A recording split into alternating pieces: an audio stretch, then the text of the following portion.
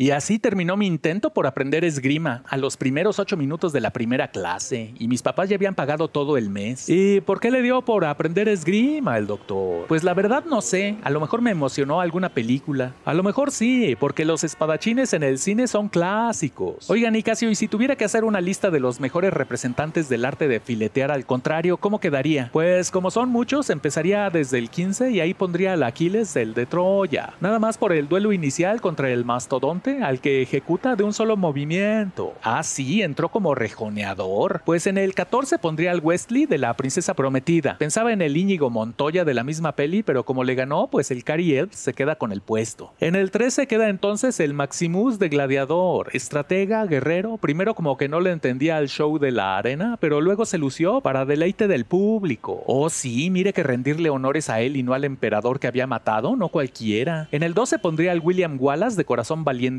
bueno pa'l trompo el tal Mel Gibson pintado de pitufo. Y en el 11 pondría al Darth Maul del episodio 1 de la Guerra de las Galaxias. Pero Obi-Wan lo venció. Sí, pero ya lo agarró cansado. Eso que ni qué. En el 10 pondría a mi Jack Sparrow de los Piratas del Caribe. Con pinta de atarantado, pero nomás nadie lo podía vencer. Además hay que sumarle puntos por las acrobacias que realizaba en cada duelo. Y en el 9 pondría a Conan el Bárbaro. Creo que ese sí se sentaba a todos los que ya hemos mencionado. Uy, sí, el Arnoldo joven, cuando creo que solo se sabía tres palabras en inglés. En el 8 pondría a Aragorn, del Señor de los Anillos, cortando cabezas y piernas como si fueran mantequilla. Bueno, y la espada de sus ancestros ayudaba. Era como si todos sus contrincantes estuvieran jugando golf con ramas secas y Aragorn llegara al campo con sus palos Miura. En el 7 pondría a Lady Snowblood. ¿Y esa de dónde o qué? Pues empezó como un manga, pero en 1973 sacaron la película del mismo nombre y es sobre una chava que nace en una cárcel y su única misión en la vida es la de hacer pagar a todos los que le hicieron daño a su familia. No, hombre, es un demonio la condenada y sirvió de inspiración para que el Tarantino creara a la novia en las de Kish Bish. ¡Sas! Pues en el 6 pondría a Katsumoto, el que le enseña a Tom Cruise toda la onda de los samuráis en la del último de los samuráis. No, no, no, tan bueno el vato que solo él mismo pudo acabar con sí mismo. En el 5 pondría a la Yu Shu Lien, o sea, la del tigre y el dragón. Esa película es un poema, grandes escenas de acción, la historia es muy buena y además nos sirvió para conocer a una joven Michelle Yeoh que 22 años después se llevara el Oscar a la mejor actriz. En el 4 pondría al Deadpool con sus dos katanas, parece rebanadora de carnes frías del súper. Y eso de tener el poder regenerativo tipo Wolverine, pues como que ayuda a que siga mate y mate y mate como conejo Energizer. En el 3 pondría al Zorro, con más de 20 películas a cuestas, creo que es uno de los mejores representantes de este tipo de combate. Y además eso de terminar firmando las paredes a espadazos, pues como que le da un plus. Sí, pero ayuda a que su inicial sea la C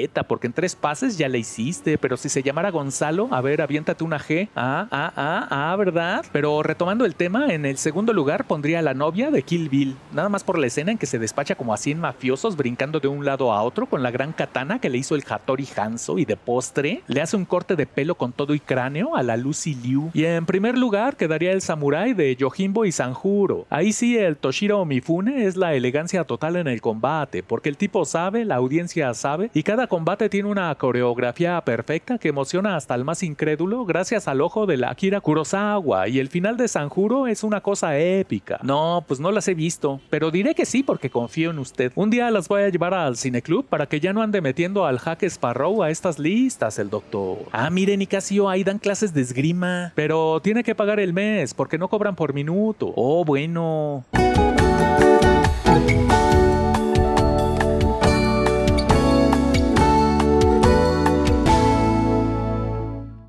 ¿Qué tal? Si te gustó este video, suscríbete al canal haciendo clic aquí o si quieres ver más opciones antes de tomar esta importante decisión, empieza por estos de acá. Gracias.